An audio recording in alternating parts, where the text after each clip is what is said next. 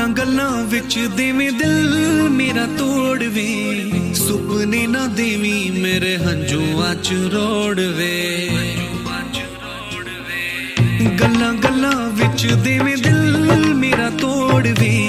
ਸੁਪਨੇ ਨਾ ਦੇਵੀ, ਮੇਰੇ ਹੰਝੂਆਂ ਚ ਰੋੜਵੇ ਰੁੱਸਿਆ ਨਾ ਕਰ ਸੋਹਣਿਆ, ਕਿਤੇ ਕੱਲਿਆਂ ਨਾ ਰੋਣਾ ਪੈ ਜਵੇ।